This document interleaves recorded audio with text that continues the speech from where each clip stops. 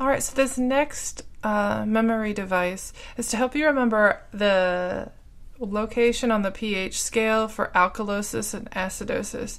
And it can be hard to remember and picture which one is on which side of that little um, scale. So, if you can remember that alkalosis has a K in it, therefore it's kicking the pH up.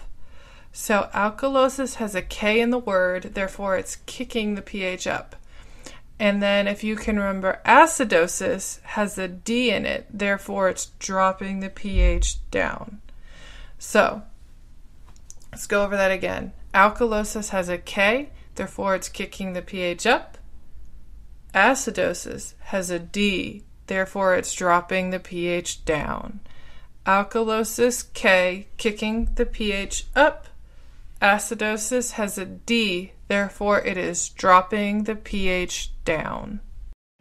This has been another episode of the Nursing Mnemonics podcast by NRSNG.com with your host, Katie Kleber, RN, CCRN. To grab all of our nursing cheat sheets, head over to NRSNG.com slash freebies. That's NRSNG.com slash freebies. Thank you so much for being here today. We love you guys. We thank you so much. We want to see you guys succeed. Listen, we're all in this together. Now go out and be your best self today. Happy nursing.